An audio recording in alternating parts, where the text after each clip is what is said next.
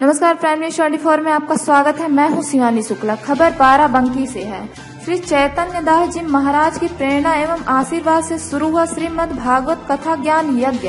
तहसील राम सनेही घाट क्षेत्र के ग्राम सभा, सिल्हौर के पूरे दूला में स्थित जितेंद्र सिंह रिंकू के यहाँ मंगलवार से श्रीमद भागवत कथा का आयोजन किया जा रहा है।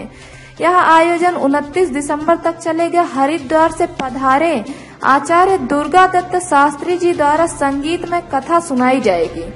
मंगलवार को कथा के पहले दिन कथा स्थल से आदि गंगा गोमती नदी सिल्हौर घाट तक भव्य कलश शोभा यात्रा निकाली गई, जिसमें बड़ी संख्या में संत समाज के साथ अन्य श्रद्धालु शामिल हुए।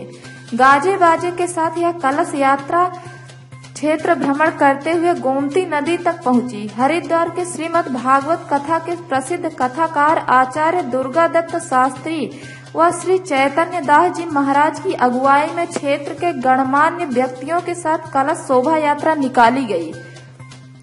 इस कलश यात्रा का आयोजन राम आनंद सिंह, जितेंद्र सिंह, रिंकू रणविजय सिंह, विनोद सिंह एवं विमलेंद्र सिंह द्वारा किया गया।